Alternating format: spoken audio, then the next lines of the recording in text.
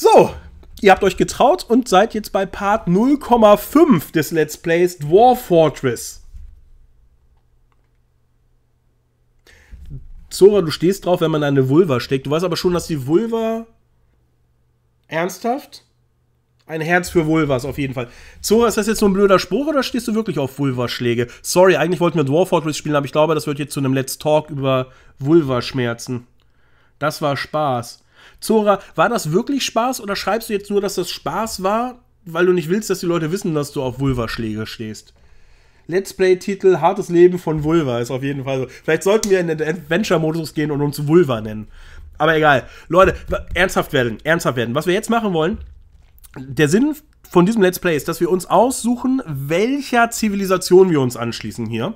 Welcher Zwergenzivilisation. Wir gehen mal an, an, ans Anfang der Welt zurück. Wir sind jetzt wieder im Jahre Null und können hier sehen, ähm, die verschiedenen ähm, ähm, Zivilisationen, die es gibt. Rot sind Zwerge, blau sind Menschen. Das Gelb hier sind, also das Gelb-Grüne sind Elfen, das richtig Grüne sind Goblins und dieses Lilane sind Kobolde. Und jetzt können wir zum Beispiel in Jahresschritten hier durchgehen und sehen, wo neue Zivilisationen entstehen. Das heißt, seht ihr das? Dieser scheiß Handelsposten war sogar schon im Jahre 1 da unten. Im Jahre 1? Ja, der war von Anfang an da, der Handelsposten. Kranker Scheiß. So, und jetzt gehen wir hier aber langsam hoch und sehen zum Beispiel, dass sich die Goblins hier unten ausbreiten und so weiter und so fort. Und können halt quasi so durch die, die Skala der Welt gehen. Wir gehen mal wieder aufs Jahr 250, sind im aktuellen Stand angekommen und können uns jetzt Hotmaps anmachen, was auch ganz interessant ist. Wir können jetzt zum Beispiel sagen, wo sind, wo haben Schlachten stattgefunden? Und das würden wir jetzt hier so eingefärbt sehen. Das ist allerdings nicht so deutlich. Äh, dann machen wir mal, wo sind Leute gestorben? Das ist dann schon eine andere Heatmap. Da sehen wir halt, wo Leute nur in Kämpfen oder allgemein, ja, wo Leute in Schlachten gestorben sind. Da sehen wir auch, das gelobte Land ist halt eindeutig im Südosten. Ne? Da unten ist friedlich. Hier unten im Süden auch. Hier unten gab es nie einen Krieg. Da ist nie jemand gestorben. Kann Seno auch was tun? Das ist, pass auf, Kali, einmal ganz kurz erklärt für dich. Das ist quasi der wir haben uns eine Spielwelt erschaffen und wir werden gleich in dieser Spielwelt spielen. Bevor wir da aber richtig reintauchen, möchte ich mit euch erstmal in die Geschichte dieser zufallsgenerierten Welt tauchen. Dwarf Fortress, was wir hier spielen, ist ein Fantasy-Welt-Generator, in dem man spielen kann, in zwei verschiedenen Spielmodi. So, ganz kurz angedickt. Ange, ange, ange und wir verschaffen uns nur einen Überblick über die Hintergrundgeschichte, damit wir gleich richtig anfangen können zu spielen. Gleich in ungefähr einer Stunde. So, äh, das ist gut zu wissen. Dann könnten wir noch gucken, wo gibt es wie viele Leute. Und jetzt können wir hier gucken. Ah, so geht das. Wir können jetzt zum Beispiel hier gucken, wo gibt es die Anaconda. Da, da gibt es die Anaconda. Oder wir können jetzt angucken, Side Population. So funktioniert das. Das hatte ich beim letzten Mal, als wir das ausprobiert haben, wusste ich nicht genau, ähm, wie wir das machen. Wir können zum Beispiel gucken, wiederbelebte Zwerge, also von Nekromanten wiederbelebte Zwerge gibt es hier, hier, hier und hier. Da unten in unserer Hauptstadt quasi. Das ist schon mal relativ makaber. Oder wir können uns jetzt angucken, nochmal Side Population und wir gucken an, wo gibt es. Es gibt nur 5500 Katzen, das ist nicht so viel. 99 Kühe. Oh mein Gott. Äh, menschliche Sklaven. Hm. Große Ratten, Lamas, 161 Lamas. Wo ist der Minotaurus auf der Map? Da unten. Ha! Ungefähr da wollten wir tatsächlich hin. Kein Wunder, dass der Minotaurus da unten noch lebt. Das Kamerabild ist gespiegelt. Ja, genau. Ist gespiegelt. Ach ja, wir haben über Vulvas gesprochen. Äh, hier oben wurde. Äh, nein, das war wirklich Spaß. Die Vorlage hat mich angeschrien, dass ich es ergreifen soll. Kann mich bei der Vorlage nie zurückhalten. Das ist auch in Ordnung. Das ist auch in Ordnung. Pass auf, was wir jetzt machen wollen, Leute. Ähm, wir machen hier erstmal alle Filter wieder raus, indem wir einmal, ich glaube, die Map wegklicken und dann wieder anmachen. Ne? So, Filter alle auf 0 gestellt, Jahr 250. Was wir nämlich jetzt machen ist, uns eine Zwergenfestung aussuchen. Wir gucken mal, welchem Zwergenstamm wir uns anschließen wollen. Wollen wir die ausge wie war das ausgeweitet, wollen wir zum ausgeweiteten Banner gehören? Das wäre, wenn wir uns das auf der Map angucken, dieses Zwergenreich, was hier im, na, sagen wir mal, Südosten, kann man sagen, regiert. Hier natürlich zwergenmäßig, hier gerade in den Bergen sind sie anheim, ja. Das wären quasi das ausgeweidete Banner. Wäre eine Möglichkeit. Stattdessen könnten wir uns aber auch dem Speer des Abenteurers oder dem abenteuerlichen Speer anschließen. Die sind in einer ähnlichen Gegend tatsächlich äh, anheim. Eher hier in dem, in dem weit östlicheren Gebirge. Ne, die anderen waren in diesem und in diesem Gebiet und die sind halt hier unten. Das wäre aber halt das äh, Zwergenvolk, zu dem auch der Überzwerg, die Vulva, gehört. Ne, vielleicht werden wir dem, der Vulva mal begegnen. Ich glaube mal, wir schließen uns dem Speer des Adventures an, aber ihr dürft gerne mitreden und, und sagen, was euch am besten gefällt. Dann haben wir hier noch das Siegel der Robustheit. Das ist die größte Zwergenkaste. Die bestehen aus immerhin fast 10.000 Zwergen insgesamt und sind hier oben. Lustigerweise gehören auch 5000 Goblins zu dieser Zwergenkaste äh, Kaste. Die scheinen sich also ein bisschen mit den, Zwer äh, mit den Goblins arrangiert zu haben. Ne? Da sind durchaus hin und wieder mal Goblins mit bei. Hier unten zum Beispiel. Das gehört offizie offiziell zu den Zwergen, aber besteht zu 5 aus 5000 Goblins. Warum auch immer, ich weiß es nicht genau. Gab es halt vielleicht politische äh, Ambitionen. Ne, die werden hier ganz oben im Norden. Das wäre natürlich auch interessant. Und zu guter Letzt, die zwei haben wir noch der gepriesene Verschluss, den haben wir im, ich sag mal, Nordosten ungefähr. Haben sie sich diesen Berg hier ausgesucht. Auch spannend. Ja, das wäre da oben quasi. Und die letzten, da bin ich tatsächlich gespannt, weil ich weiß nicht, wo die sitzen.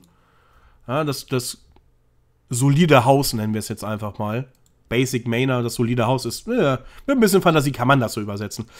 Die sind auch in diesem, also die, das ist ein Hotspot hier unten, ne? Da sind schon relativ viele äh, Zwerge. Aber ich würde tatsächlich wirklich sagen, wir versuchen mal, ob wir nicht hier unten siedeln können. Wenn wir uns das mal angucken, hier unten irgendwo. Ähm, und das wäre dann quasi unser. Guck mal, hier haben wir ja auch Berge. Hier haben wir Berge. Vielleicht nehmen wir diesen Berg und versuchen, diesen Berg zu besiedeln. Das könnten wir gleich mal gucken, ob wir hier eine Zwergenfestung errichten wollen. Wir gehen also zurück auf die alternative Map. Das ist ein schöner Berg. Ne? Der ist noch jungfräulich. Ja? Ich mag jungfräuliche Dinge. Moonlight, wie geht's dir eigentlich? Äh, ist da genug Platz für die Fabrik? Sonst brauchst du viel Landfill. Das ist wahr. Ja, doch, das sollte, aber das geht. Das geht.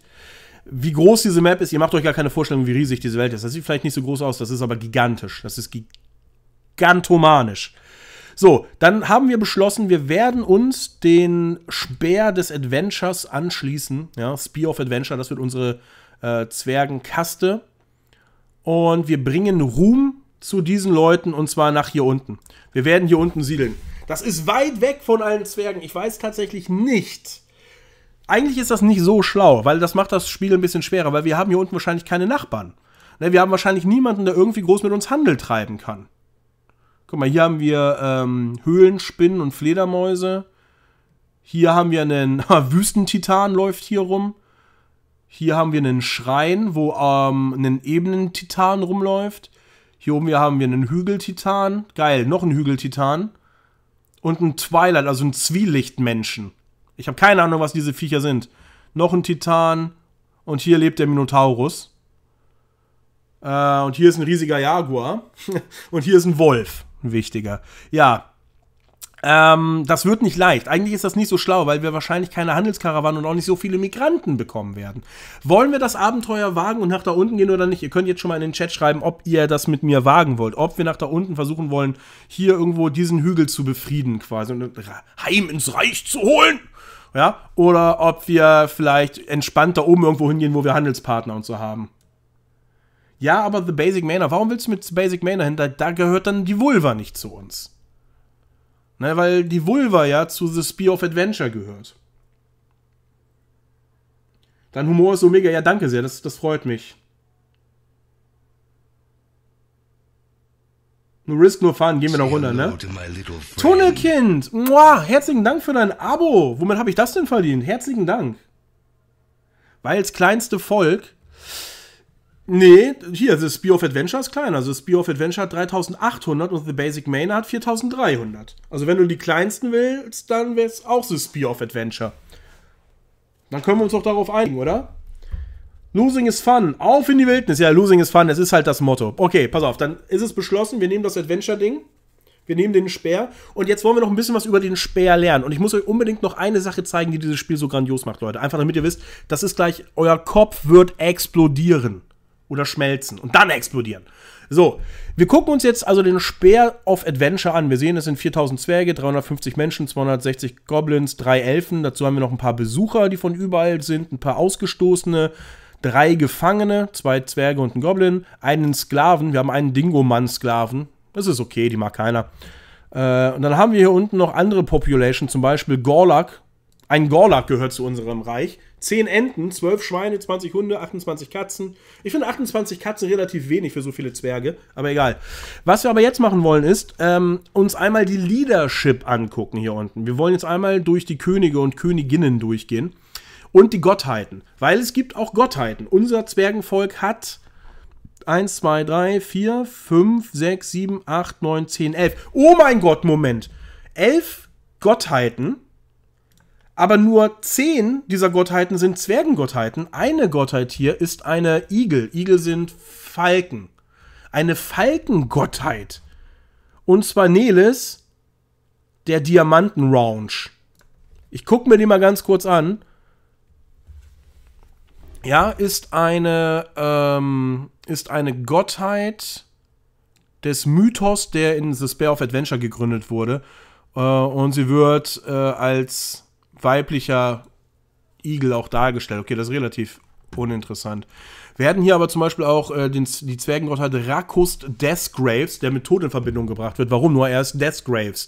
Gucken wir uns den an. Das ist eine Gottheit, die auch äh, in dem Mythos von dem Speer des Adventures gegründet wurde. Das heißt auch nur die Zwerge, die sich uns an, also die zu unserer Zivilisation gehören. Der, also diese Gottheit wird mit unserer Zivilisation in Verbindung gebracht. So ähnlich wie Zeus halt ein äh, griechischer Gott ist und, und wir als ähm, Europäer, wollte ich sagen, Quatsch, aber wir als Deutsche eventuell nicht so einen Bezug zu Zeus haben. Wir wissen, wer das ist. Wir haben auch davon gehört, aber wir beten den halt jetzt nicht unbedingt an. Also nicht alle von uns auf jeden Fall, würde ich mal sagen. Ne? So müsst ihr euch das hier vorstellen. Deshalb steht hier halt, dass der Mythos um diese Gottheit halt in unserer Zivilisation begründet liegt.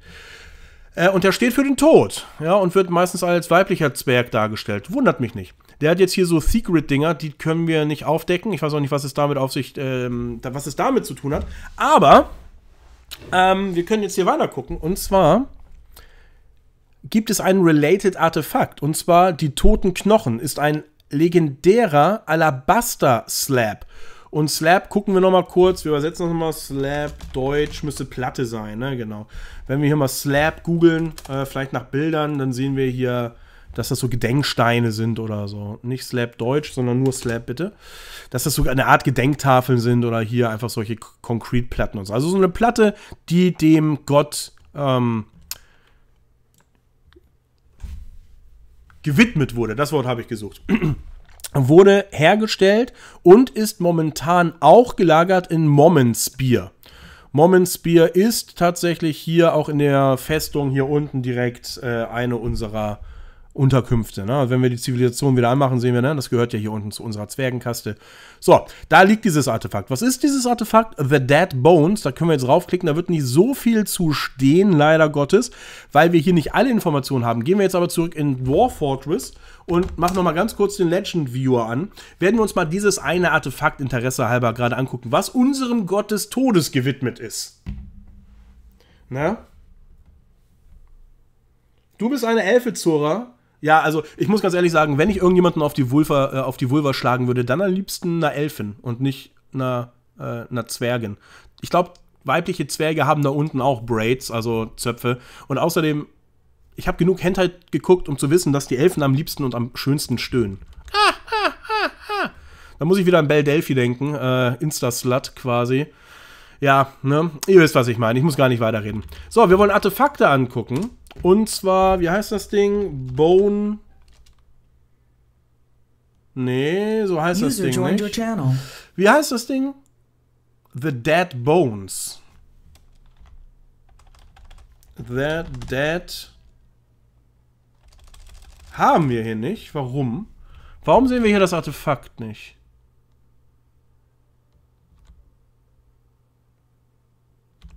Könnte eine Struktur sein. The Dead Bones haben wir hier auch nicht. Ah, warum? Das überrascht mich tatsächlich. Äh. Nee, hier sind wir falsch. Vielleicht ist es ein Buch. Ja, The Dead Bones, hier. Es gilt als, warum auch immer, als Codex, Scroll oder was auch immer. So.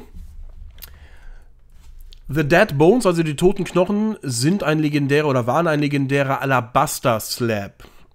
Das ist ein Alabaster Slab. Ähm, seine Herstellungsart ist von allerhöchster Qualität. Auf dem Slab steht, ah, das Geheimnis von Leben und Tod. Das ist sehr, sehr wichtig. Eieiei, hier steht nämlich jetzt auch warum. Immer wenn ihr Items habt, wo drauf steht The Secrets of Life and Death, sind das Bücher oder Kodexe oder Schriftrollen oder sowas, wo das Leben, äh, wo das Geheimnis von Leben und Tod drin steht. Wenn ihr das in eure Hände bekommt und wenn ihr das gelesen habt, werdet ihr zum Nekromanten. Dann könnt ihr Tote auferstehen lassen. Wenn wir jetzt also im Adventure-Modus wären, wenn wir den Adventure-Modus spielen würden, wüssten wir jetzt, dass hier in diesem Unterschlupf hier, in genau diesem Feld, wo es jetzt auch immer war, wir haben es ja eben gesehen, ihr wisst, ihr wisst was ich meine. The Dead Bones hier in, in Momentspear. Hier liegt das, hier liegt ein Buch rum, es gibt meistens mehrere davon. Äh, hier liegt ein Buch rum, womit wir zum Nekromanten werden könnten und eine Armee von toten Zwergen auferstehen lassen könnten, um diesen ganzen verdammten Berg zu überrennen. Elfen gehören, glaube ich, so oder so zu den ästhetischen Wesen. Hilfe, meine Schreibkunst leidet gerade so sehr, weil ich ganze Zeit lachen muss. Ja, schade. Ähm, übrigens, ein kleiner Hinweis: Elfen sind in Dwarf Fortress verhasst. Jeder Dwarf Fortress-Spieler hasst und verabscheut Elfen. Warum? Elfen handeln nicht mit Gegenständen, die aus Holz hergestellt sind. Und wenn wir zu viel Holz hacken, erklären uns alle Elfen den Krieg. Auf der ganzen Welt. Alle Elfen erklären uns den Krieg, weil sie hassen, wenn man zu viel Holz erntet. Wäre also nichts für Factorio, Leute. Deshalb sind Elfen kleine Pussys, die man immer tötet.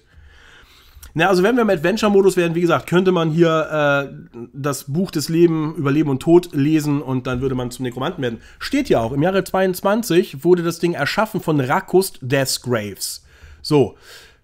Warte, den Namen kennen wir doch. Rakust Deathgraves? Also nee, da steht hier auch, ne, das Der ist zur Gottheit geworden. Der Gott, unser Gott, also die, Gott, die Gottheit, die wir verehren und mit Tod in Verbindung bringen, hat das Buch über Leben und Tod im Jahre 22 geschrieben und wurde dann in Real Blots von dem Zwergennekromant Etzul Peltlancer, ähm, das hat er in seine Gewalt gebracht. Der hat es dann auch im Herbst 22 gelesen und hat dadurch die äh, Geheimnisse über Leben und Tod gelernt aus diesem Buch. Im Jahre 56 wurde dieses Buch dann von dem Zwergen Necromancer eingelagert und im Jahre 164 wurde es erbeutet. Und zwar von dem Zwerg Odum.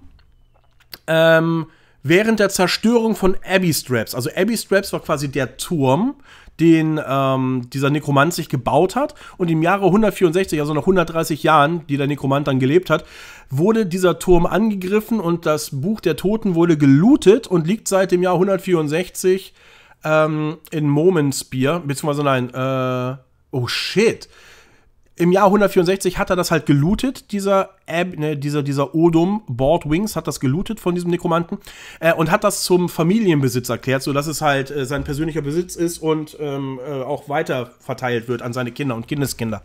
So, und im Jahre 139 wurde das Buch verloren. Das heißt, das ist nur der letzte Aufenthaltsort, der letzte Bekannte. Der ist nicht mehr da. Der ist nicht mehr da. Ja. Wenn wir uns das Buch nämlich jetzt einmal angucken hier, wird hier glaube ich auch als letzter Eintrag stehen. Genau, wurde verloren. Im Jahre 193 ist das Ding wegge weggelaufen. Anhänger dieser Elfen ist wirklich so. Scheiß Baumknutscher, Baumkuschler ist wirklich so. So, okay. Aber wir wollten eigentlich über unsere Könige was rausfinden. Aber da haben wir jetzt was über unseren Gott des Toten gelernt. Also über Rakust Death Graves.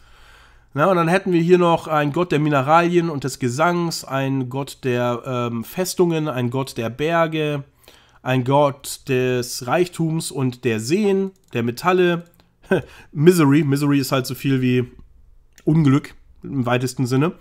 Ein Gott des Salzes, ein Gott des Tanzes und ein Gott der Gerechtigkeit. Und über all diese Gottheiten könnten wir jetzt was rauslesen. So, aber wir wollen uns eigentlich die Könige angucken. Und zwar hatten wir den ersten König im Jahre 1. Ja, Lorbram. Der ist nicht alt geworden.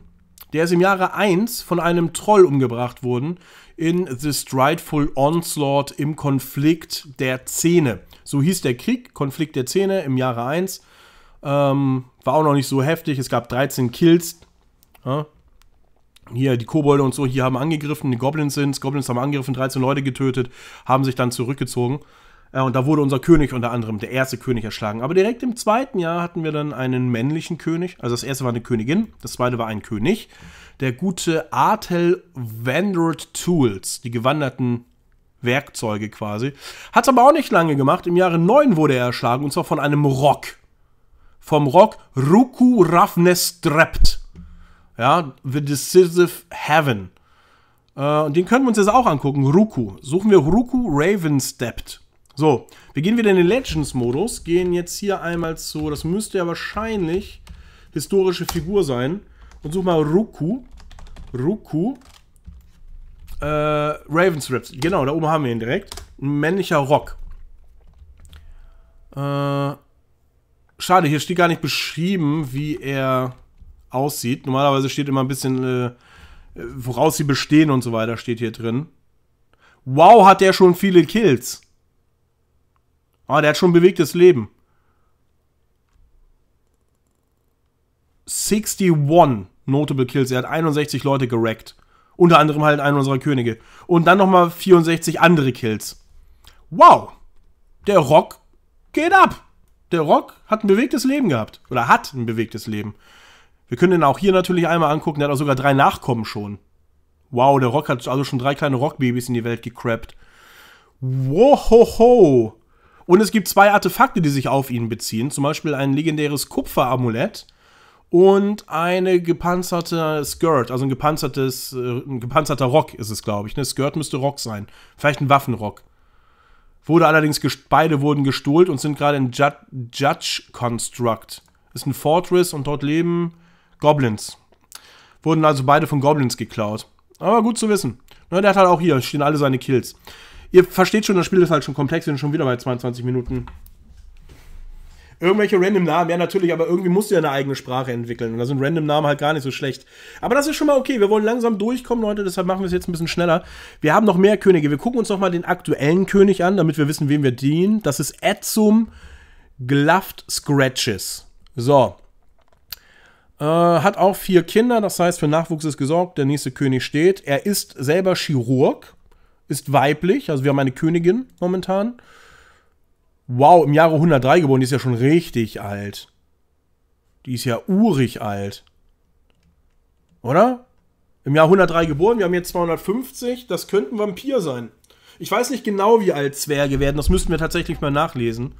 Äh, auf der Dwarf-Wiki. Vielleicht kann einer von euch mal recherchieren, wie alt die Zwerge ungefähr werden. Äh, ja, genau, auf den mythologischen Rock bezieht sich das. Der braucht halt auch einiges zu fressen, ne? Ist so. So, ist momentan unsere Queen von und wurde im Jahre 220 gewählt. Könnte ein Vampir sein, ne? Ich würde auch sagen, das macht vielleicht Sinn. Weil, äh, wobei hier in dieser Software steht, glaube ich, tatsächlich, wenn es Vampire sind. Im Spiel sehen wir es nicht, aber ich glaube, hier äh, wird uns die Information angezeigt, ob es ein Vampir ist oder nicht. Ich glaube. So, das heißt, wir wissen auf jeden Fall, was hat die denn so drauf? Ja, legendärer Überzeuger ein High Master in Musizieren, ein Great Conversationalist. So, und das ist halt, wenn ihr jetzt gucken wollt, was diese Skills machen. Ich weiß gar nicht, ob das in der Dwarf Fortress Wiki steht. Wir gucken mal, weil ich kenne auch noch nicht alle Skills. Ne? Das ist auch gar nicht so wichtig. Man muss halt nicht alles wissen, um dieses Spiel zu spielen. Das ist das Schöne. Äh, die Sachen funktionieren ja im Hintergrund. Man muss nicht alles wissen, aber wir gucken mal einfach kurz die Skills nach. Ähm, wir gucken mal nach Skills. Vielleicht steht hier eine Auflistung. Skills. Dwarf Fortress lädt. Was kann der noch so? Consoler, Comedian, ein adäquater Comedian, da bin ich besser. Judge of Intent, Negotiator ist halt Verhandlungsmensch. Er kann Keyboard, er kann am Keyboard spielen, er kann gut sprechen, also Novize-Sprecher, ja, okay, also Speaker ist so vor einer Gruppe reden, ne? Kompetenter Axeman, er ist aber ein legendärer Chirurg und ein legendärer Wundenversorger. Das könnte aber tatsächlich ein Ding sein. 150 bis 170 laut Wiki. Alles klar, danke sehr. Das hilft. Äh, Queen Elizabeth gleich Vampir. Ja, das könnte sein. Ne? So, Skills. Hier haben wir die Skills. Und das hier ist das Skillset. Dabbling, Novize, Adequate, Competent, Skilled, Proficient, Talented, Adept, Expert, Professional, Accomplished, Great, Master, High Master, Grandmaster und Legendary. Die 15 Stufen. Äh, und dann gibt es die Skills, die es hier gibt.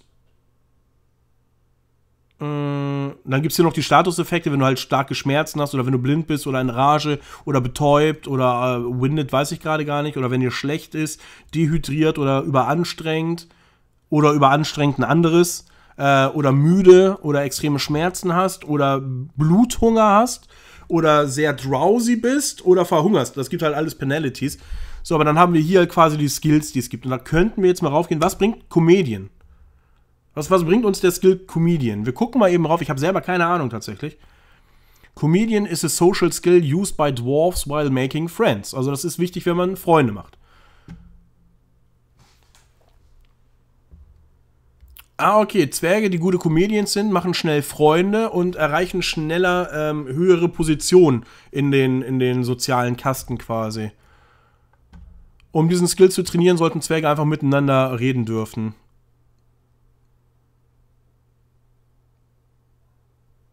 Sehr selbstbewusste Zwerge werden niemals Experience in diesem Skill bekommen, ist ja auch nett. Na, oder dann hätten wir zum Beispiel Conversationalist. Was bringt das? Äh, guck mal, ich, ich weiß jetzt halt selber nicht. Ne? Das, sind, das sind die Skillsets, die es gibt. Äh, ist a social skill used by dwarves while making friends. Okay, ist derselbe Text. Außer, dass hier äh, reservierte Zwerge niemals Erfahrung machen. Das sind halt eher, eher ein, ein Dings, der nach draußen geht, quasi, ne? So, dann haben wir Judge of Intent. Äh. Judge of Intent ist ein Social Skill, der trainiert wird, während die Zwerge miteinander reden und Arbeit, äh, sich vor Arbeit drücken. Das ist ein wichtiger Skill für den Broker. Der Broker ist unser Handelsmeister. Der handelt die Preise aus, wenn wir mit Karawanen handeln. Ja, es lässt den Dealer, also unseren Broker quasi, ähm, im Vorab ein Gefühl dafür bekommen, wie unser Handelspartner auf den Deal, den wir ihnen vorschlagen, reagieren wird. Äh, Okay. Der Sheriff oder der Captain of Guard benutzt diese Fähigkeit, wenn er ähm, Verdächtige verhört. User joined your channel. Das ist ja auch interessant. Broken Player, moin Leute, jetzt schon War Fortress, zum Glück habe ich jetzt schon eingeschaltet. Ja, wir sind noch in der Vorstory. Das landet alles auf YouTube. Wir haben jetzt schon eine Stunde hinter uns und haben die Welt erschaffen äh, und sind jetzt quasi dabei, alles vorzubereiten. Gut, dass du eingeschaltet hast, Broken Player. Ich habe mich spontan entschieden, Factorio heute nicht zu machen und stattdessen War Fortress zu spielen. Man muss auch das machen, worauf man Spaß hat. Lügner. Gucken wir uns mal kurz den Lügner-Skill an. Äh, auch gut, tatsächlich, um Freunde zu machen. Äh,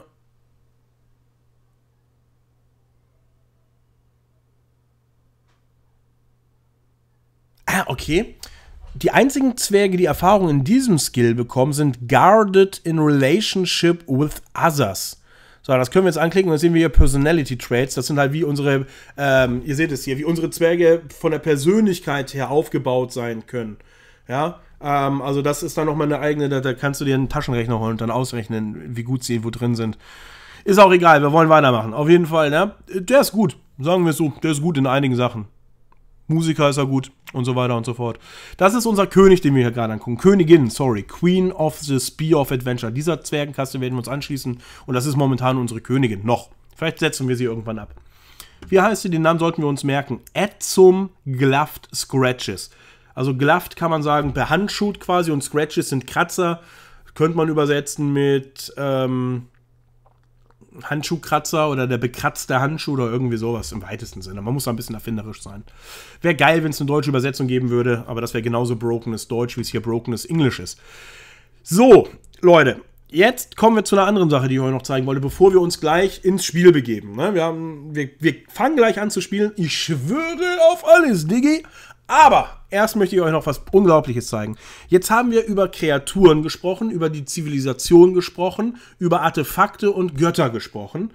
Jetzt machen wir folgendes und gucken uns hier oben Arts und Crafts an. Und zwar gucken wir uns Written Content an. Und zwar haben wir jetzt hier eine Liste von den Gedichten und Büchern, die geschrieben wurden. hier sehen wir auch den Typ. Also eine musikalische Komposition, ein Gedicht, eine Choreografie, eine Kurzgeschichte. So, wir haben jetzt hier eine Kurzgeschichte. Und We See Pit. Vielleicht können wir die im Legends Video uns mal eben angucken. We See Pit. Haben wir hier die Scrolls und so, ja? We See. We See Pit hier. We See Pit was a legendary Lace Agate Bound Codex. Also aus. Was ist Lace? Ähm. Ist Lace nicht feiner Stoff? Spitze, ne? Ist Lace nicht Spitze?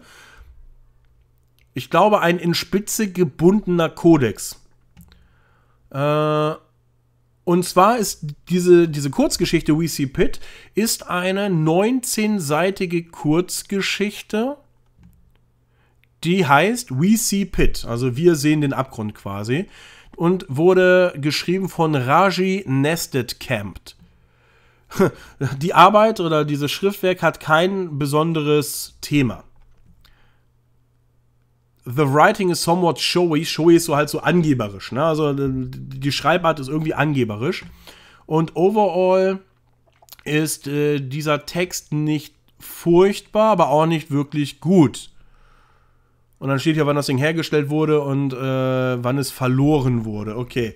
So, dann haben wir hier zum Beispiel noch We See the Dwarf. Das ist ein anderes Buch.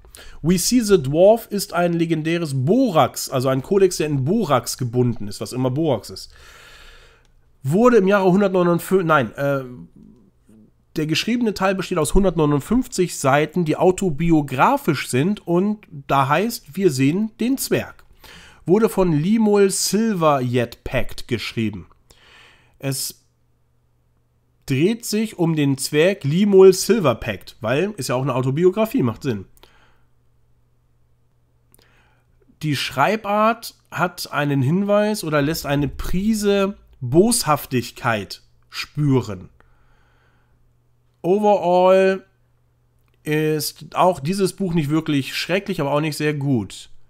Da die, das Buch hat drei Kapitel. Das erste Kapitel befasst sich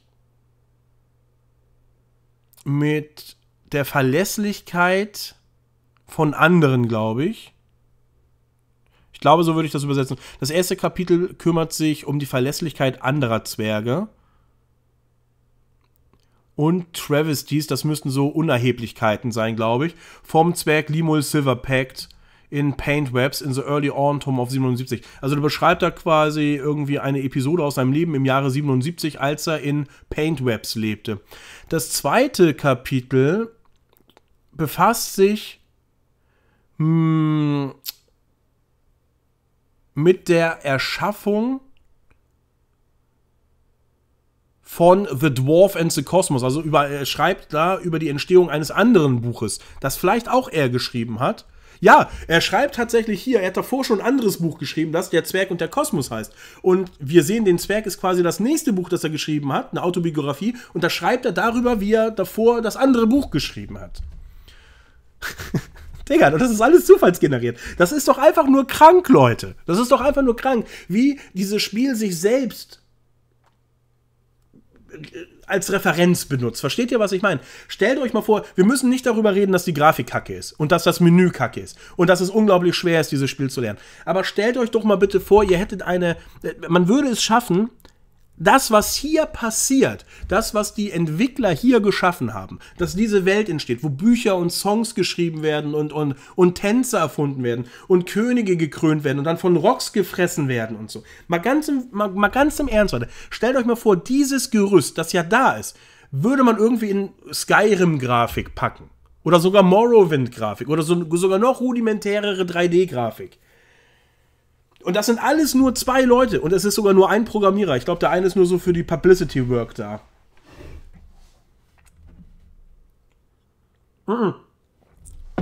Aber Vira, ich glaube, genau da irrst du dich, weil das ist gar nicht mal das Problem mit äh, modernen PCs und so. Das, das, das Problem ist nicht die Grafik, sondern äh, anders. Das Problem ist nicht die Rechenpower, weil die Rechenpower wird jetzt schon benutzt, wenn wir gleich spielen und wir werden gleich noch spielen wird diese ganze Rechenpower jetzt schon benutzt, um diese riesige Welt am Leben und am Laufen zu erhalten. Das heißt, der PC rödelt. Deshalb ist, ich habe das vorhin ernst gemeint. Wenn ihr selber spielt, nehmt eine kleine Welt und eine junge Geschichte. weil das alles berechnet werden muss. Und das sind alles Prozesse, die im Hintergrund stattfinden, während wir spielen. Und irgendwann wird unsere Festung dann so groß, dass wir dann 100, 150 Zwerge haben und dann wird das Spiel immer langsamer. Ähnlich wie ein Factorio, wenn du eine Megabase hast. Weil nach zwischen zwei Cycles quasi muss alles berechnet werden und je mehr da zu rechnen ist, desto größer ist der, die Dauer zwischen zwei Cycles, ja. Also das heißt, wir haben die FPS, die gehen runter, weil die UPS runtergehen, also die Updates per Cycle quasi. Ihr wisst schon, was ich meine. Das Spiel wird langsamer und zäher, je länger wir spielen. Und irgendwann äh, braucht, wir brauchen jetzt vielleicht eine Viertelstunde für ein, ähm, oder sagen wir mal eine Stunde für eine Jahreszeit. Nachher brauchst du für eine Jahreszeit zehn Stunden, einfach weil es so langsam berechnet wird. Du kannst Dwarf Fortress, und das ist jetzt kein Scherz, ich zeige euch das mal ganz kurz mit irgendeinem random YouTube-Video man kann ohne Scheiß Dwarf Fortress in 3D spielen. Es gibt Software, damit kannst du Dwarf Fortress 3D. Äh, ich weiß gerade nicht, wie sie heißt. Äh, Amok Vision ist es, glaube ich. Ne? Amok Vision, hier. Ich muss muten und so, damit wir nicht weggehen. Guck, er hat hier seine Spielwelt. Das können wir nachher auch machen, wenn wir erstmal ein bisschen gespielt haben und ein bisschen was vorzuweisen haben. Du bist jetzt in dieser Spielwelt und das hier sind jetzt seine Dinger. Das sieht nicht User gut aus. Ja? Das sieht nicht gut aus, aber du kannst da rein. Und dann kannst du hier durch deine Räume und Ebenen. Na, das ist so Dungeon Masters 2 Grafik. Hier ist eher das Problem, dass es so viele verschiedene Einheiten und so viele verschiedene ähm, ähm, Entitäten gibt, dass du ja für alles eine eigene Grafik brauchst. Und das ist das Krasse. Das ist das Krasse. Im Grunde, so sieht das ein bisschen aus wie Minecraft. Ja. Es gibt, glaube ich, sogar eine Dwarf Fortress Minecraft Fork irgendwie. Ich weiß auch nicht, wie das funktioniert sondern du kannst dich hier jetzt in der Welt bewegen und du kannst es auch live in dieser Ansicht spielen. Das ist nur unglaublich umständlich und so. Das macht man eher, um mal sich einen Überblick über seine eigene Festung zu verschaffen. Mit den Bäumen draußen. Aber das sieht natürlich nicht sehr hübsch aus und es läuft richtig beschissen, weil es nicht darauf ausgelegt ist. Aber diese Informationen werden rausgehaut. Ja, Daggerfall ist das Spiel mit der größten Spielwelt, das stimmt. Daggerfall ist der zweite Teil von The Elder Scrolls, also der Teil vor Morrowind oder der zwei Teile vor Oblivion, beziehungsweise drei Teile vor Skyrim. Ja, ist Daggerfall. Und die Spielwelt in Daggerfall ist größer als London, äh, größer als Großbritannien.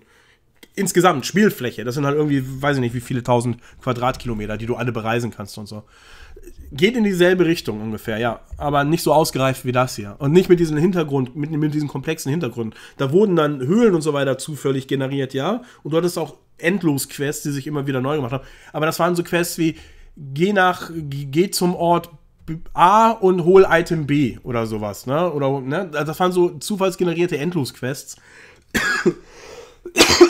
Was für die damalige Zeit und auch heute noch beeindruckend ist. Aber sollten wir irgendwann mal den Adventure-Modus spielen hier auf dem Kanal, Leute, es gibt kein Missionsziel, es gibt keine Quest. Du hast nichts zu tun. Du machst, was du willst. Du unterhältst dich, du gehst in ein Dorf, unterhältst dich mit dem Typen, der die Taverne hat und der Typ erzählt dir, ey, äh, meine große Schwester wurde von Goblins entführt. Und schon hast du eine Quest. So, aber das ist nicht, das hat kein Programmierer da rein kodiert, sondern das ist entstanden.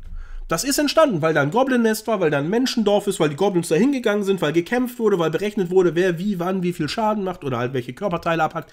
Und dann wurde halt seine große Schwester gefangen genommen. Und dann bist du in dieser Taverne und es ist halt wirklich eine Welt, ist halt übertrieben. Ne? Also es ist ja nicht wie die echte Welt, aber es ist, wenn ihr das mit anderen Spielen, auch wie Skyrim oder so, vergleicht, das ist halt die Dinge entstehen aus sich selbst heraus. Und das ist das, was Dwarford ist. Ich glaube, so kann man es zusammenfassen. Diese ganzen anderthalb Stunden, die ich jetzt hier rumlabe, so kann man das, glaube ich, gut zusammenfassen. Und das sollte ich mir irgendwie notieren oder auf jeden Fall in Erinnerung absprechen.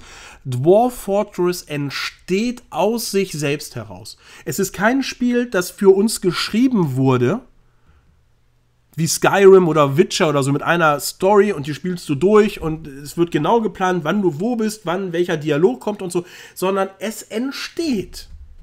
Und das ist das, was ich so faszinierend finde. Das ist auch der Grund, warum Dwarf Fortress so einen unglaublich großen Wiederspielwert hat. Weil es ist immer wieder neu und anders.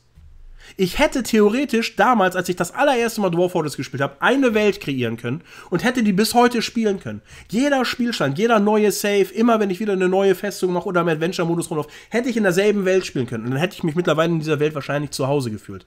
Also, ne, so ein Stück weit. Ich hätte gewusst, wer gerade König ist und so. Deshalb mache ich das mit euch. Ja, also das ist das Krasse. Dieser Zwerg hat also ein Buch darüber geschrieben, eine Autobiografie, und im zweiten Kapitel schreibt er darüber, wie er sein erstes Buch geschrieben hat. Und das dritte Kapitel ähm, befasst sich damit, dass der Zwerg Rigot Love Glazed ähm, bei dem Autor dieses Buches, Lemuel Silverpack, in die Lehre gegangen ist im Jahre 95. Hier, Apprenticeship ist Lehre.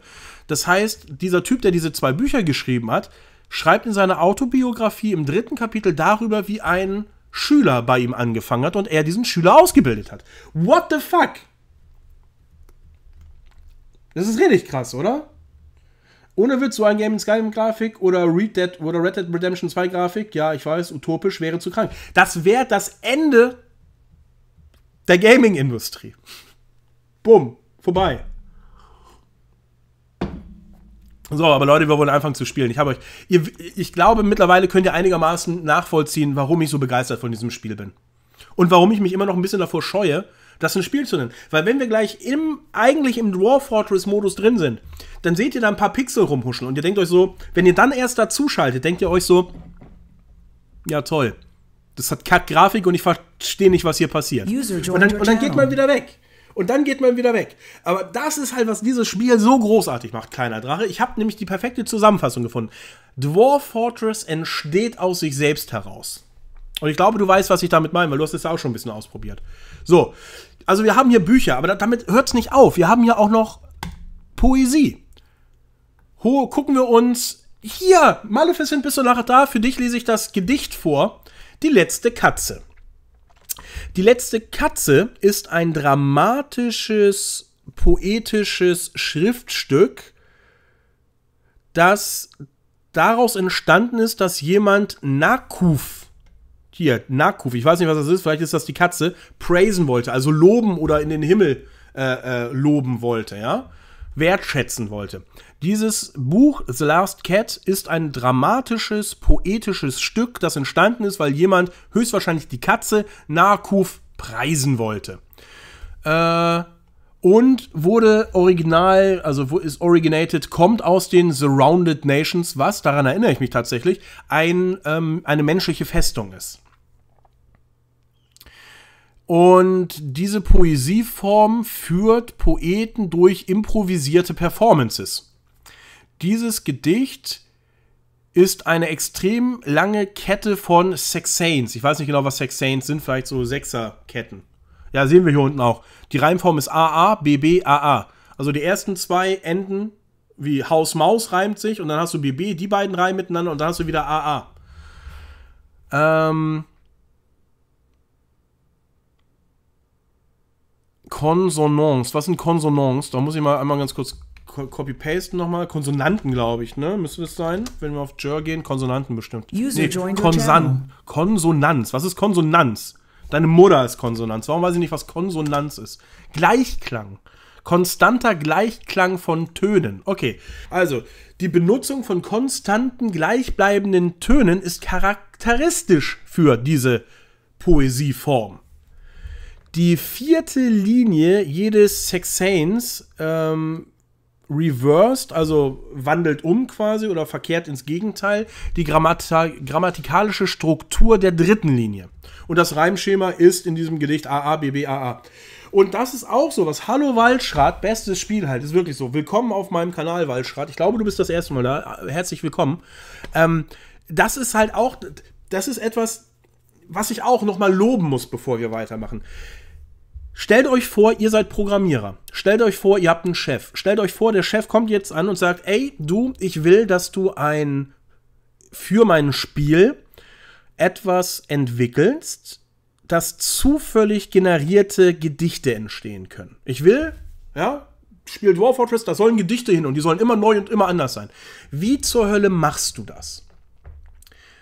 Und ich finde diese Herangehensweise, die die Entwickler hier gewählt haben, unglaublich intelligent. Und ich glaube, das ist eine Technik, die kenne ich persönlich aus keinem anderen Spiel. Es wird Beispiele geben, wenn euch was einfällt. Vielleicht, ich muss erstmal erklären, was ich meine. Aber vielleicht fallen euch dann Beispiele aus anderen Spielen ein und dann dürft ihr mir die gerne nennen. Was ich meine ist, hier werden ja keine Gedichte geschrieben. Hier steht jetzt ja nicht ein Gedicht. Aber uns wird erklärt, wie dieses Gedicht aufgebaut ist. Und dadurch können wir es uns selbst vorstellen und haben ein bestimmtes Bild im Kopf.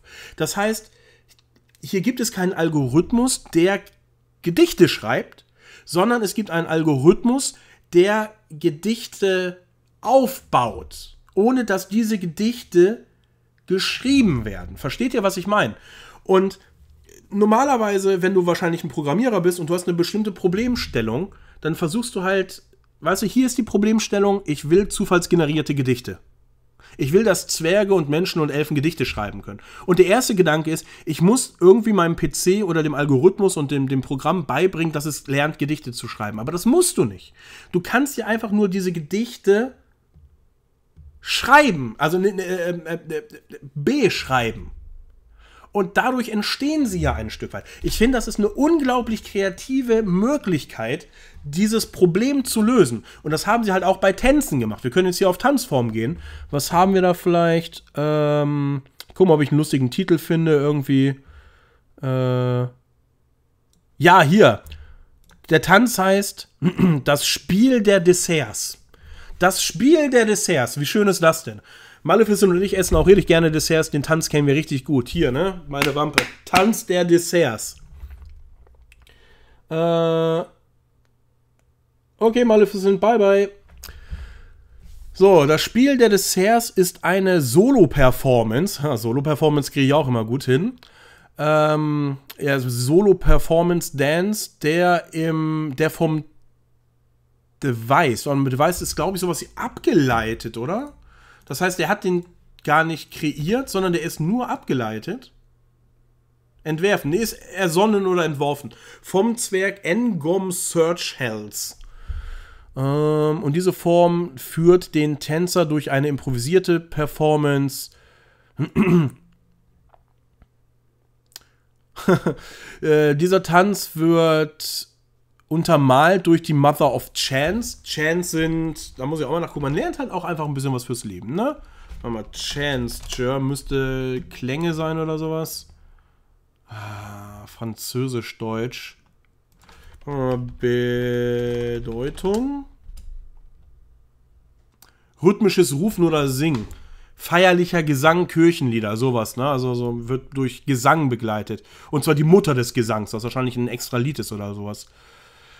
Dieser Tanz ist stark und verbiegend. So, das ist ein relativ unkomplizierter Tanz. Wir können aber auch hier The Silky Luxuries angucken. Und guck mal, jetzt haben wir hier einen richtig komplizierten Tanz. Ne, hier wird hin und wieder äh, sich im Kreis gedreht und es wird rumgerannt und es gibt ruhige Stücke inmitten. Ähm, da wird dann der linke Arm gehoben. Also das ist halt unglaublich. Es wird halt der ganze Tanz beschrieben, wie man hier so wui, wui, wui, wui, macht und so weiter und so fort. So, wir wollen aber anfangen zu spielen. Wir sind bei 47 Minuten. Wir haben jetzt genug hier in dieser Software rumgemacht. Wir wissen, wo wir uns anschließen wollen. Wir wissen, wir wollen zu den Spears of Adventure. Wir wissen, unsere Königin ist ein gekratzter Handschuh. Und wir wissen, wir möchten gerne, wenn wir uns die Welt angucken, hier unten in den Südosten dahin pilgern, weil dort gibt es keine anderen Zivilisationen. So, Gut, machen wir diese extra Software aus. Wir haben es geschafft. Ihr habt es durchgestanden. Es tut mir leid, Leute, aber ihr scheint euch ja wenigstens einigermaßen gut unterhalten zu fühlen. Ich habe das Gefühl, ich sollte einfach zocken und sagen, was ich dann im Spiel mache. Aber ich glaube, diese Begeisterung, die ich hier an den Tag lege, gefällt euch auch ganz gut. Von daher muss ich vielleicht gar kein schlechtes Gewissen haben. Ich habe so ein bisschen das Gefühl, als würde ich nur eure Zeit verschwenden, aber ich glaube auch ein bisschen ist es genau das, was ihr wollt. Ist für mich ein bisschen schwer. Ich hoffe, ihr fühlt euch gut unterhalten. Wir drücken jetzt auf gar nichts. Denn wir machen erst Soundsense an, damit äh, sich der Sound wieder anschaltet. Und dann müssen wir gleich die Musik ausschalten. Ganz wichtig. Ich darf die Musik nicht abspielen. Da sind kopiergeschützte Songs bei, die darf ich auf YouTube nicht abspielen. Oder auf Twitch auch nicht. Gehört ja nicht mir. So. Background-Wissen ist schon wichtig. Jetzt seid ihr einigermaßen gut vorbereitet. Wenn ich das richtig verstanden habe, dann macht das Spiel nichts anderes als das, was im Lab so als Grundlage liegt. Du kannst, was du darstellen kannst. Nur halt in schriftlicher Form. Ja, so ungefähr. So ungefähr. So. Wow, start playing. Wir müssen uns darauf einstellen, dass das Spiel abstürzen wird. Das passiert hin und wieder. Es ist so. Es passiert hin und wieder. Müssen wir mit leben. Ich hoffe, es stürzt nicht allzu oft ab. Es ist in der Alpha, Leute, seit 14 Jahren. Also, was wollen wir erwarten? 14 fucking Jahre tüfteln zwei Leute an diesem Spiel. Das ist für mich halt auch einfach, abgesehen davon, was ich euch jetzt alles erzählt habe, eine inspirierende Story. Dass zwei Leute wirklich ihr Leben diesem Spiel verschrieben haben. Sollte einer oder sogar beide der Brüder sterben, glaube ich auch, ist dieser Quellcode einfach so kompliziert, dass niemand anderes sich daran trauen kann. Ich glaube nicht, dass jemand dieses Spiel übernehmen wird. Und einer der Entwickler, also einer der Brüder, und zwar der Bruder, der entwickelt, äh, hat Krebs. Ähm, das ist einer der Gründe, warum Dwarf Fortress bei Steam vertrieben wird. Damit sie die Einnahmen von Steam benutzen können, äh, um die Krebsbehandlung zu bezahlen, weil die beiden Brüder leider nicht in Kanada geboren sind, sondern in den USA leben und damit alle Behandlungen selbstständig bezahlen dürfen. Und falls ihr mal so amerikanische Krebsrechnungen gesehen habt, äh, das ist hart. Hallo Van Martan. Hallo Van, Van Martan. So rum. Ja, von daher, da wurde schon öfter operiert und es sieht auch okay aus momentan und die Leute sagen auch, man soll nicht mehr spenden, als man möchte und so weiter. Das ist zum Beispiel auch ganz geil. Jeder, der Geld spendet, das müsste ich eigentlich auch mal machen, aber jeder, der Geld spendet an die beiden Macher, äh, bekommt ein handgemaltes Zwergenbild. Das macht so der eine der Brüder. Der ist ein bisschen künstlerischer angetan. Der malt jedem, der spendet, äh, äh so ein kleines handgemaltes Zwergenbild. Finde ich total knuffig. Und wie gesagt, die haben halt immerhin 3000 Patreons. Ne? Ich habe 11. Aber ist ihnen gegönnt, weil das ist mehr als. Das, das, das, ist halt kein Game, Mann. Das ist halt wirklich, das ist, eine, das ist eine total inspirierende Geschichte. Das ist auch einer der Gründe, warum ich das Spiel so mag. Weißt du? du hast ein Battlefield oder du hast ein Witcher oder du hast ein Skyrim oder sowas. Und das sind alles tolle Spiele und haben eine Daseinsberechtigung und die bieten auch gute Unterhaltung. Ich will die Games gar nicht flame. Aber dann hast du das hier. Und das ist auf einem anderen Niveau. Ich will gar nicht mal sagen, dass es besser ist. Es ist einfach grundlegend was anderes. Hier ist nicht ein Team von, von äh, 400 Programmierern und Sounddesignern und ähm, Graphic Motions Leuten da, die irgendwie alle ihr eigenes kleines Zahnrad sind, sondern das hier ist ein Lebensprojekt. Anders kann ich es nicht ausdrücken. Das ist ein Lebensprojekt. So, wir, ich erkläre euch, was passiert. Äh, wir sind dieses kleine X da oben. Ja? Das ist halt, das ist der Grund, Mann. Das sind zwei Nerds, die das sehen. Habt ihr die mal gesehen, Mann? Die Adams-Brüder, die sehen halt, ihr seht die und die sehen aus wie, wie, wie Nerds. Äh, Tarnvek Adams. So, das sind die beiden Brüder. Wie könnt ihr die angucken und nicht denken, das sind Nerds, Leute? Das sind die beiden. Die beiden haben das Spiel gemacht, Mann. Das, was wir hier feiern, das sind diese beiden. Die. Sorry, aber jedes Klischee erfüllt, oder? Die spielen bestimmt auch Magic the Gathering, spielen Tabletop-Spiele und Pen-and-Paper-Rollenspiele, wenn sie die Zeit dafür haben. Und ich glaube, er hier ist der Programmierer. Tarn, genau, ich glaube, er ist der Programmierer und der ähm, mit Krebs. Ich bin mir da nicht hundertprozentig sicher, das kann auch andersrum sein. Na, das sind zwei harte Nerds, es ist so. Hier nochmal in, in Full Body. Ja, aber ist okay, wir wollen anfangen zu spielen. Äh, Super super. Ich kann euch auch nur empfehlen, euch Interviews von denen anzugucken. Auf YouTube gibt es Interviews von denen und Podcasts und so. Super interessant. Wenn ihr des Englischen mächtig seid, es, es ist einfach inspirierend. Wir fangen an. Wir sind jetzt bei Minute 52. Nein, ich mache jetzt hier zu Ende. Und jetzt geht's nämlich los. Jetzt bereiten wir das Spiel vor. Und das machen wir jetzt. Jetzt sind wir nämlich in Version 1.0. Jay Rewe, es gibt heute kein Factorio, es tut mir leid. Wenn du nur Factorio sehen willst, wirst du heute hier nicht glücklich. Muss ich dir ganz ehrlich sagen. Morgen wahrscheinlich wieder heute, ich bin festgefahren hier in War Fortress. Ich werde das weiterspielen. Und wir machen jetzt hier einen YouTube-Cut, Leute, und wir starten jetzt mit Version 1.0. Let's Play 1.0. Nach zwei Stunden Vorbereitung wollen wir mal ein bisschen Dwarf Fortress spielen. Ich freue mich. Bis gleich.